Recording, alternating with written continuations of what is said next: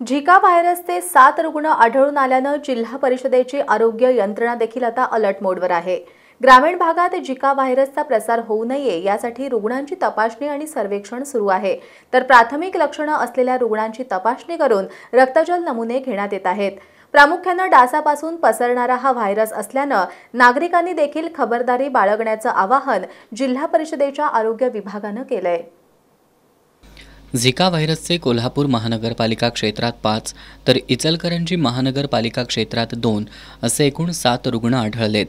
सध्या शहरी भागात झिकाचे रुग्ण आढळले असले तरी ग्रामीण भागात झिकाचा फैलाव होऊ नये यासाठी जिल्हा परिषदेच्या आरोग्य विभागानं गावागावात तपासणी आणि सर्वेक्षण सुरू केलं. आहे अतिरिक्त जिल्हा आरोग्य अधिकारी डॉक्टर संजय रणवीर यांनी दिलेल्या माहितीनुसार नऊ नोव्हेंबर रोजी कोल्हापूर शहरासह जिल्ह्यातील आरोग्य केंद्रांमध्ये विविध ठिकाणी सुरक्षित मातृत्व अभियानावेळी तपासणी करून रक्तजल नमुने घेण्यात आले होते. हे नमुने पुण्याच्या राष्ट्रीय विषाणू संशोधन केंद्राकडे पाठवण्यात आले. या नमुन्यांच्या तपासणी अहवालानुसार आत्तापर्यंत चार झिका पॉझिटिव्ह रुग्ण आढळून आले असून कोल्हापूर शहरातील ते आहेत. आत्तापर्यंत कोल्हापूर आणि इचलकरंजी या दोन शहरांमध्ये झिकाचे सात रुग्ण आढळून आल्यामुळं जिल्हा परिषदेनं तातडीनं हालचाली सुरू केल्यात. घरोघरी सर्वेक्षण करण्यासह खासगी डॉक्टरांच्या कार्यशाळा घेण्यात आल्याचं डॉक्टर रणवीर यांनी सांगितलं. टोटल सात रुग्ण आढळून आलेले आहेत झिका व्हायरसचे.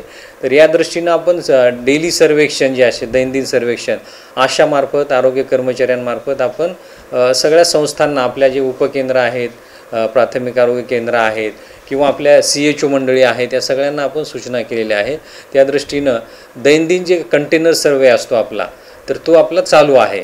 आणि याच्यामध्ये प्रायव्हेट डॉक्टरांची कार्यशाळा पण आपण बऱ्याच ठिकाणी इथे पण घेतली महानगरपालिकेमध्ये आणि पेरीफेरीला आपण घेण्याच्या प्रयोजन सगळ्यांना सांगितलेलं आहे. डासांमुळे झिका व्हायरस पसरत असल्यानं नागरिकांनी देखील आवश्यक ती दक्षता घ्यावी असं आवाहन डॉक्टर संजय रणवीर यांनी केलं आहे की आठवड्यातून एक कोरडा दिवस पाळणे आहे किंवा कोरडा दिवस म्हणजे नुसतंच पाणी प- साप अ, उल हे करून रिकामे भांडे करून चालणार नाही.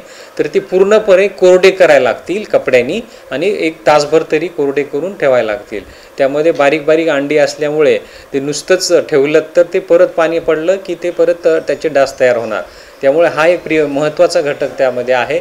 दुसरं असं की आपल्या आजूबाजूला जे कंटेनर असतात छोटे छोटे जे पाण्याची ड साचलेले जसे की आपण चहा पिऊन जे बाहेर टाकतो कप प्लॅस्टिकचे वगैरे आता सर्रास वापरतो होतो आणि तो तसंच टाकतो. तर असा मध्ये मध्ये पाऊस आल्यामुळे त्यात पाणी साचून त्यात एक आठ दहा दिवसाच्या एक लाईफ सायकल आहे त्या मॉस्किटोची ते दहा दिवसामध्ये तयार होतात.